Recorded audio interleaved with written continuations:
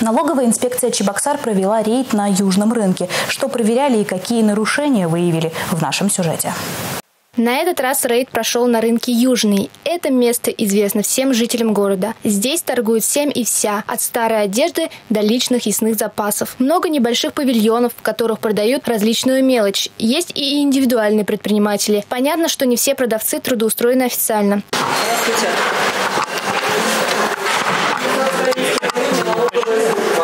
Удивительно, что серые выплаты никого здесь не смущают, а ведь они несут с собой потери в будущем. Плохо работнику, э, в будущем он может э, не получить достойную пенсию, обеспечить свое будущее. Подобный рейд не первый в этом году. В месяц районные администрации проводят в среднем 15 проверок. Это позволяет тщательно отслеживать ситуацию на рынке труда. За 9 месяцев э, этого года мы проводили анализ, и в ходе проведения анализа выявили, выявлено, что все-таки где-то процентов 20 эм, процентов из общего количества вот проверенных объектов э, допускают, э, то есть э, нарушения.